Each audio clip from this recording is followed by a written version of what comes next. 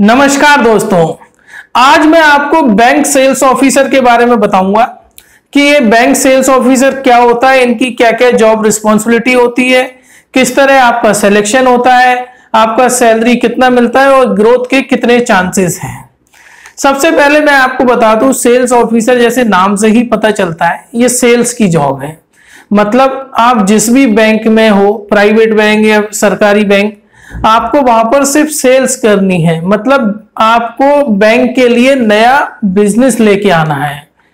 अब sales officer क्या होता है कि अलग अलग बैंक के अलग अलग डिपार्टमेंट्स होते हैं।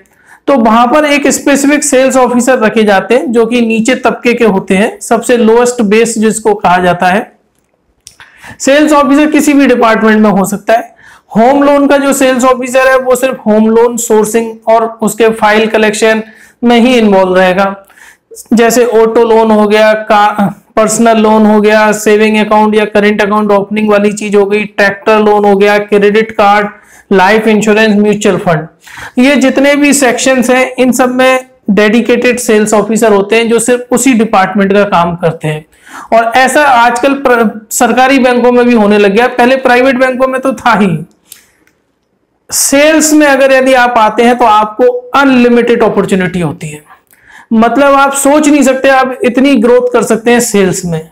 मैं आईसीआईसीआई बैंक में था, तब मैं जानता हूँ कि एक जो लेडी थी जिसने सेल्स ऑफिसर जॉब ज्वाइन किया था, वो आज की डेट में जर्नल मैनेजर है आईसीआईसीआई बैंक में। तो आप सोच सकते हैं, अगर यदि आप सेल्स में, आप बाकी में मेहनत कर सकते हैं, खून पसीना एक कर सकते हैं तो अनलिमिटेड ग्रोथ है। कोई सेल्स ऑफिसर जनरल मैनेजर तक बन जाए, इतनी अपॉर्चुनिटी मिलती है आपको प्राइवेट बैंकों में। अब हम बात करते हैं कि सेल्स ऑफिसर को क्या क्या काम करना होता है। देखिए सेल्स ऑफिसर का ज़्यादातर काम फ़ील्ड वर्क होता है। मतलब बैंक के अंदर उसको जो कोर बैंकिंग सॉल्यूशन होता है, जिसके अंदर सारे ट्रांजेक्शन किए जाते हैं, उस पर बैठने के लिए वो ऑथराइज नहीं होता। उसका काम सिर्फ़ फ़ील्ड में जाना है बैंक के लिए बिज़नेस लाना है, चाहे वो कोई सा भी बिज़नेस हो, जिस भी डिपार्टमेंट में वो होम लोन हो कार लोन हो, वो सारे बैंकिंग और फाइनेंशियल प्रोडक्ट उसको बेचने हैं। अब बात करते हैं टोटल कस्टमर एक्विजिशन करना होता है। मतलब उसका काम सिर्फ़ बैंक के लिए नए नए कस्टमर लेके आना है। चाहे वो किसी भी तरीके से लेकर आए, दिन भर फ़ील्ड में रहे टोटल आपका मार्केटिंग का जॉब है। आपको लास्ट में डे एंड में अपने बॉस को यही रिपोर्ट करना है कि आपने कितनी सेल्स करी। देखिए सेल्स ऑफिसर का जो स्ट्रक्चर होता है बैंक के अंदर प्राइवेट बैंक के अंदर वो ऐसा होता है कि एक टीम लीडर होता है। टीम लीडर जनरली बैंक का एम्प्लॉय होता है जो बैंक के पेरोल पे होता है। उसके अंडर पाँच या दस लोगों सेल्स ऑफिसर की टीम होती है। जैसे कि मैं एक एग्जांपल लू ट्रैक्टर लोन है। ट्रैक्टर लोन में एक लीडर है और फिर पाँच दस सेल्स ऑफिसर की जो टीम है, वो ट्रैक्टर डीलरों के पास जाएँगे उस डिस्ट्रिक्ट में और फाइलें सोर्स करने की पूरी कोशिश करेंगे। हमेशा आप याद रखिए, आपको सुबह शाम मीटिंग अटेंड करनी पड़ेगी। सुबह आप अपने टीम लीडर के साथ मीटिंग अटेंड करेंगे कि आज आपको क्या करना है, क्या टारगेट है। इवनिंग में फिर आपको अपने मैंने टीम लीडर के साथ मीटिंग अटेंड करनी होगी कि आज आपने क्या किया, कितनी सेल्स करी। और आगे चल के जो भी आज आपने सोर्स किया है, वो कब तक सेल्स में कन्वर्ट हो जाएगी। मैं आपको पहले ही बता दूँ सेल्स ऑफिसर का काम काफ़ी तनाव वाला होता है। आपके पास जिम्मेदारियाँ नहीं होती, लेकिन आपके पास जॉब का प्रेशर होता है। सेल्स का प्रेशर होता है और अपने टारगेट अचीव करने का प्रेशर होता है। यानी कि अगर आप सेल्स ऑफिसर की तरह अपना कैरियर स्टार्ट करते हैं और आप इतने तनाव में अगर दो तीन साल रहते हैं तो आप एक बहुत मैच्योर बन के निकलेंगे और आपका कैरियर बहुत अच्छा होगा। अब आपको अगर ये जॉब चाहिए तो इसके लिए कोई ज़्यादा क्वालिफिकेशन की ज़रूरत नहीं है। प्राइवेट बैंकों में जनरली बारहवीं पास वालों को भी ये जॉब मिल जाती है, क्योंकि बस एक ही काबिलियत आप में होनी चाहिए कि आप सेल्स में माहिर हो। आपको लोगों से रिलेशन बनाना हो, बनाना आना चाहिए। लोगों से लाइजनिंग अच्छी होनी चाहिए। तो आप अपने आप सेल्स कर पाओगे। अब बात करते हैं जो पेरोल की। जनरली जो सेल्स ऑफिसर होते हैं, वो थर्ड पार्टी के पेरोल पे रहते हैं। मतलब जैसे अगर आप H D F C ICICI bank में काम कर रहे हैं ऐसे सेल्स ऑफिसर तो चांसेस ये है कि आपकी जो पे स्लिप है, वो कोई थर्ड पार्टी दे रही है, लेकिन आप काम सिर्फ़ आईसीआईसी बैंक के लिए कर रहे हैं। क्योंकि जनरली बैंक सेल्स ऑफिसर अपने पेरोल पे नहीं रखता। लेकिन अगर कोई सेल्स ऑफिसर बहुत अच्छा काम करे और बैंक इंप्रेस हो जाए तो बैंक उसको अपने पेरोल पे कंफर्म कर देता है। मैंने कई बार ऐसा देखा है। सैलरी जनरली सेल्स ऑफिसर को 10 से बीस हज़ार के बीच में सैलरी मिलती है। आप चाहे प्राइवेट बैंक में काम कर रहे हो, चाहे सरकारी बैंक में। हाँ लेकिन सैलरी के अलावा एक चीज़ बहुत अच्छी बात है, अगर यदि आप सेल्स में बहुत अच्छा कर देते हो तो आपको बोनस कई बार सैलरी से ज़्यादा मिल जाता है। यानी कि आपका जो बोनस पार्ट रहता है, वो सैलरी से ज़्यादा होता है, क्योंकि आपका जो भी प्राइवेट बैंकों में जो इंसेंटिव बनता है, वो आपकी सेल्स के ऊपर बनता है।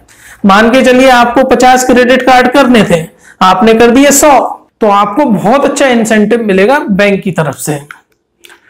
ये देखिए जैसे कि अगर मान के चलिए आप सेल्स ऑफिसर लगे हुए अब जैसे मैं एग्जांपल लेता हूँ जैसे एचडीएफसी में ये से, महिला सेल्स ऑफिसर लगी हुई है तो आप ऊपर देख सकते हैं एक कंपनी है एमबीबीबीएम मार्केटिंग मतलब पेरोल आपकी एमबीबीबीएम मार्केटिंग की है लेकिन यह जो मीरा जी है ये काम एचडीएफसी बैंक के लिए कर रही है। तो अगर आप सेल्स ऑफिसर की जॉब करेंगे तो आपको कुछ इस तरह की ही प्रोफ़ाइल पे काम करना पड़ेगा। अब बात आती है कि ये जॉब कैसे करें कैसे मिल सकती है। देखिए, सबसे बेस्ट ये है, आज की डेट में चाहे प्राइवेट बैंक हो, चाहे सरकारी बैंक हो, हर किसी को सेल्स ऑफिसर की ज़रूरत है, हर कोई अपना बिज़नेस बढ़ाना चाहता है। सबसे बेस्ट ये है कि अगर आप करना चाहते हैं, आप अपने इलाके के 10-15 बैंकों में एक एक बार जाके ब्रांच मैनेजर से या किसी से भी मिल के आ जाइए, कि वहाँ पर वैकेंसी है क्या।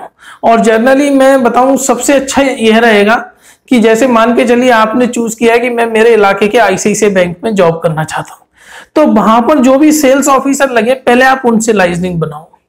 होता क्या है कि वैकेंसी निकलेगी तो सबसे पहले उस सेल्स ऑफिसर को पता रहेगा कि हाँ यार, ये बंदा छोड़ के जा रहा है तो इसकी जगह वैकेंसी है। तो वो आपको इन्फॉर्म करेगा कि हाँ एक वैकेंसी खाली है, आप इनसे मिल लीजिए। और आप उनसे जाके मिल लीजिए और आपका काम बड़ा इजीली तरीके से हो जाएगा। और अगर आप बैंक में किसी को जानते हैं, कोई रिश्तेदार है, दोस्त है तो उनसे संपर्क में रहिए। क्योंकि जनरली वैकेंसी हर बैंक में छह महीने साल भर में निकल ही जाती है। आप डेली न्यूज़पेपर पढ़ते हैं, उसमें जो एडवर्टीजमेंट वाला सेक्शन होता है, उसमें कई बार आपको इस तरह के इश्तिहार दिखेंगे। तो इन पर गौर करिए, इन पर नज़र लगाइए कि अपने आसपास के इलाके में ऐसा कौन सा बैंक है जो सेल्स एक्सिक्यूटिव सेल्स ऑफिसर के लिए अभी नियुक्तियाँ कर रहा है। आप वहाँ जाकर इंटरव्यू देखे आइए। और हाँ अगर आप वाकई में पैसे कमाने का पैशन रखते हैं, आप मुझसे जुड़िए। ये मेरा व्हाट्सएप नंबर है। आप इस व्हाट्सएप नंबर से मुझसे जुड़िए। मैं आपको एक से बढ़ के एक टेक्निक बताऊँगा लीगल वाली, कि जिससे आप घर बैठे पैसा कमा पाए अगर आप मेहनती है तो। मुझसे अगर आपको जुड़ना है पैसे कमाने के लिए, आप तभी जुड़िए, तब आप मन में ये विश्वास करें कि आपको मेहनत करनी है, ईमानदारी से काम करेंगे। तो मैं आपको विश्वास दिलाता हूँ कि मैं टारगेट लेके चल रहा हूँ। अगले एक साल में मैं कम से कम एक लाख लोगों को रोज़गार दिलाऊँगा। अब तक मुझसे हज़ारों लोग जुड़ चुके हैं। और जिनको मैं घर बैठे वो जो काम कर रहे थे, वो ही कर रहे हैं। मैं उनको कुछ ना कुछ ऐसी चीज़ें बताता रहता हूँ जिससे वो लीगल तरीके से पैसा कमा सकते हैं। तो मुझसे जुड़िए, मुझे व्हाट्सअप करिए, मेरे ग्रुपों से मैं एडअप हुई है व्हाट्सअप के में। आपको हंड्रेड परसेंट बेनिफिट होगा। कोई इन्वेस्टमेंट नहीं, किसी तरह का कोई खर्चा नहीं। सिर्फ़ मुझे एक ही इन्वेस्टमेंट चाहिए आपका, वो है मेहनत। तो फ्रेंड्स मुझे उम्मीद है आपको मेरा वीडियो पसंद आया होगा। प्लीज़ मेरा वीडियो आप अपने व्हाट्सएप ग्रुप पे शेयर करें। मेरा चैनल सब्सक्राइब करवा के रखें। और मुझसे एसोसिएट रहे अगर आपको पैसा कमाना है तो। धन्यवाद फ्रेंड